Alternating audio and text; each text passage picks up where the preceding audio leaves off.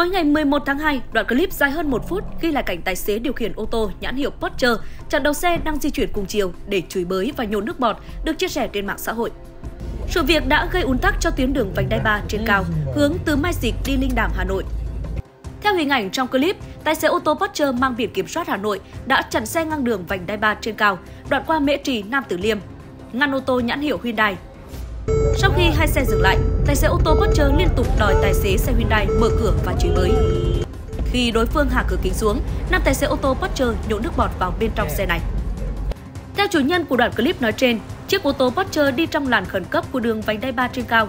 Đến đoạn tắc, xe Porsche tạt vào làn trong nhưng tài xế xe Hyundai không cho vào nên nảy sinh xích mích. Hiện đội cảnh sát giao thông đường bộ số 6 phòng cảnh sát giao thông Hà Nội đã cử cán bộ xác minh thông tin về đoạn clip kể trên.